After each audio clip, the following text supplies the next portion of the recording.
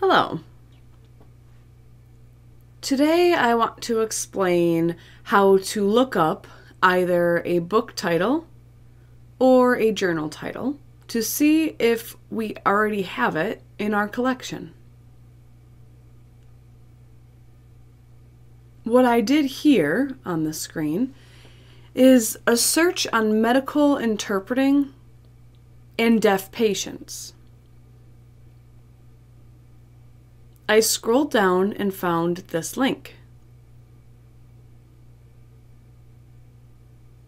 The Deaf Studies Encyclopedia by Sage. I happen to know we have that encyclopedia, but it doesn't show you the RIT link. It's just blank. What I will do is copy the book title and look for it in our RIT Libraries catalog.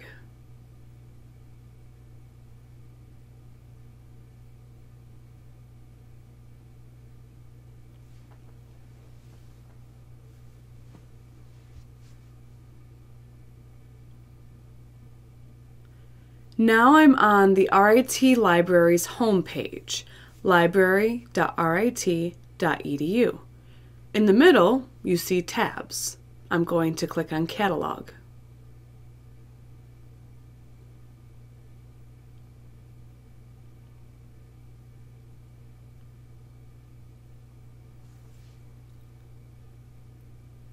And here, I can see the link to the encyclopedia. I'm going to click on that.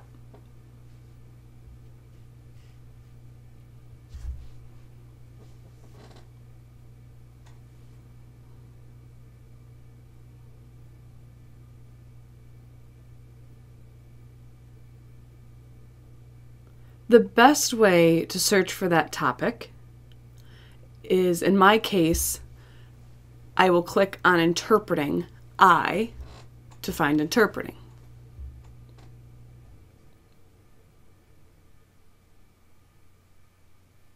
Medical. I can see it here.